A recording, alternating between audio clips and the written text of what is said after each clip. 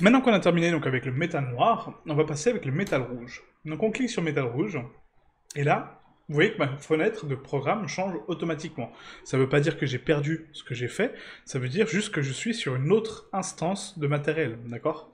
Donc parfois on clique par mégarde, hein. on se dit bah tiens j'ai perdu tout mon programme et du coup bah bêtement on va remettre tous les paramètres sans faire attention à ce qu'on a à côté et du coup on va remettre tous les paramètres comme on avait, bah non c'est du métal noir donc c'est à 0.1 etc. Et on va changer toutes les valeurs. Chose qu'il ne faut pas faire parce que du coup on va modifier nos matériaux, Donc il faut vraiment faire attention au matériel qui est sélectionné. Si vous ne l'avez pas ici, vous l'avez ici, d'accord? Donc là on est bien sur le métal rouge, habillage, manche, donc le métal rouge, eh bien, ici en rouge, on va commencer par créer mon nœud de couleur, d'accord? Donc le premier, qui va être, rappelez-vous, un mélange RGB. Pourquoi Parce qu'on va rajouter l'ambiance occlusion, d'accord? Donc je raccorde ça ici, sauf que là, si je le raccorde, je perds ma couleur, je perds ma valeur. Donc avant de faire le raccord, je clique sur ma couleur 1, je prends la petite pipette, je viens cliquer sur ma couleur que j'ai définie, je la récupère, pas de souci. Maintenant, je peux faire mon raccord, ok? Ensuite, on rajoute le programme d'occlusion ambiante pour rajouter des ombres de proximité, rappelez-vous. Couleur dans la couleur 2. Ce sont des ombres, donc des valeurs noires, donc en dessous de 0.5. Donc je veux les multiplier. Est-ce que je veux 50% de mes ombres? Non, je veux 100% de mes ombres. Donc je le mets à 100%.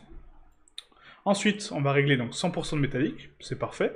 La spécularité, rappelez-vous, on va la régler avec un Fresnel, donc recherche, Fresnel, parfait. Je raccorde mon Fresnel à la spécularité pour m'éviter d'avoir un double réglage avec l'indice de réfraction qui est ici. Et je le règle à 2.15. Comme le métal au-dessus, pareil. Là, c'est parfait, on a réglé donc la métallique, la spécularité.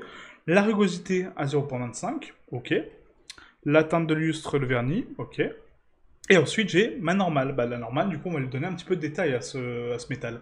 Et là, j'ai envie de créer quelque chose de différent. J'ai pas envie de créer un grain, j'ai envie de créer des stries, d'accord Donc des, vraiment des bandes vraiment des, cercles qui vont euh, rajouter un petit peu de relief à ces anneaux, d'accord? Pour créer un petit peu de surface, un peu, de relief. Parce que là, c'est vraiment très plat, ça me plaît pas. J'ai envie de rajouter un peu de relief. Pour ce faire, on va créer ici une texture de vague. Donc ça peut paraître étrange, parce qu'on vague, on dit bah c'est très ondulé, c'est pas, pas droit, mais si on analyse la texture qu'on vient de créer, CTRL SHIFT, clic gauche, voilà ce que j'ai. J'ai effectivement donc des anneaux qui ont été créés, mais c'est à moi de les définir ici. On a donc différents types, bandes ou anneaux. Donc là, je suis bien sur des bandes. On est bien orienté sur l'axe X. On peut l'orienter sur l'axe Y. Et sur l'axe Z. D'accord? L'axe Z, du coup, parallèle.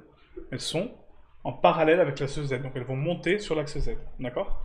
Là, j'ai créé donc mes anneaux qui sont parfaitement parallèles à mon axe X, puisqu'elles sont orientées vers l'axe Z, donc elles vont monter D'accord mes, mes bandes, hein, pardon, pas, mes anneaux. Et là, j'ai bah, la texture que je veux. J'ai des valeurs noires, donc du coup, ça va creuser dans ma matière. J'ai des valeurs grises qui vont donner un petit peu de relief en plus, et des valeurs blanches qui vont vraiment ressortir. Donc là, si je raccorde ma texture comme ça, telle qu'elle est, je peux la raccorder à la normale? Bah non, il va pas la comprendre. Rappelez-vous, il faut la raccorder d'abord à un bump.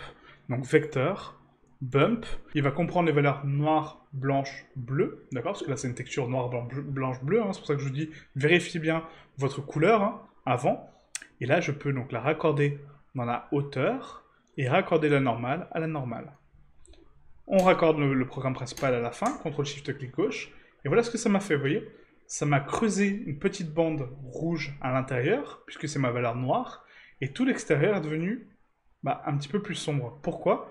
Parce que là, actuellement, ma distance est beaucoup trop forte et mes anneaux sont beaucoup trop forts. D'accord? Donc à moins de régler cette texture pour avoir la bonne valeur ici. Pour ce faire, on doit indiquer comment est placée la texture, qu'est-ce qui va la définir. Donc là, CTRL T, on rapporte donc le programme, qu'est-ce qui va générer la texture, où est-ce qu'elle va être placée et comment elle va être générée. Et qu'est-ce qui va la générer? Donc là, c'est mon UV, encore une fois, c'est ma carte UV qui va définir euh, ma texture.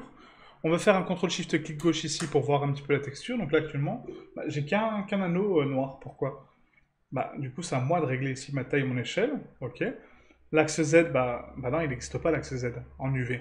Donc du coup, ce n'est pas l'axe Z, mais l'axe Y ou l'axe X, selon les situations. Pour ma part, c'est l'axe Y. Je récupère mes anneaux, c'est parfait. La taille, bah, du coup, je vais l'augmenter un petit peu pour créer donc, le nombre de stries que je veux. Voilà, donc là, c'est pas trop mal. Hein. J'aime bien un petit peu cette forme-là. J'analyse comment c'est propagé sur le, manche. Ok. J'ai des stries un petit peu partout. Bah, c'est pile ce que je veux, c'est parfait. Ok. Donc là, c'est bon. On va raccorder encore une fois CTRL-SHIFT-clic gauche au programme.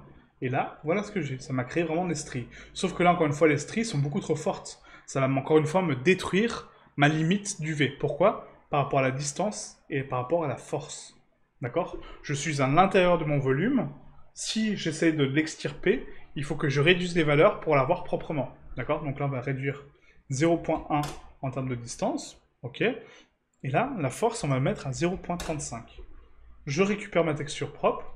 J'ai bien créé mes bandes, vous voyez? Mes bandes sont là, propres. C'est parfait.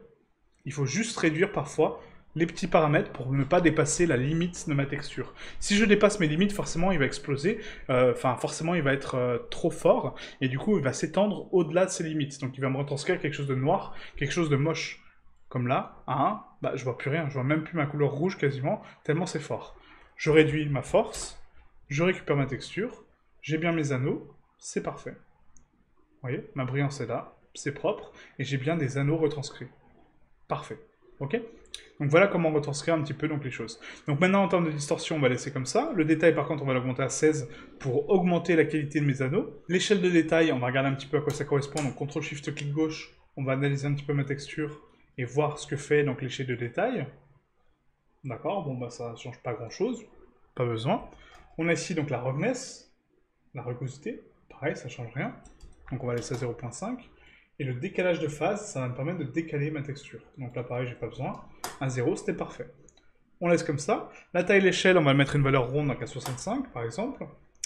Euh, quoi qu'il même un petit peu plus. Hein. Le but, c'est d'avoir un anneau par tranche. Donc on va mettre, euh, voilà, comme ça. À peu près, non. Hop, voilà. 64, 700, c'est parfait. On a quasiment le même écart ici, ici. Ça permet de créer quelque chose de, de symétrique un peu plus propre. Ok?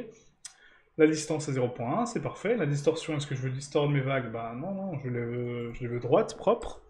Voilà, donc c'est parfait, j'ai ma texture, ok? CTRL-SHIFT, clic gauche, je raccorde donc mon nœud, et maintenant je dois raccorder donc la normale à quoi? Au Fresnel, pour qu'il puisse comprendre mon relief, d'accord? Pour qu'il ait de l'incidence sur la réfraction, mais aussi sur mon ambiante occlusion, pour comprendre le relief, et du coup rajouter les ombres qui sont propres à mon relief, d'accord? Très important. Et là j'ai créé mes streams, c'est parfait. Voilà. Et vous voyez comment habiller donc un manche en quelques clics avec quelques programmes, ça permet donc de créer des textures vraiment très jolies.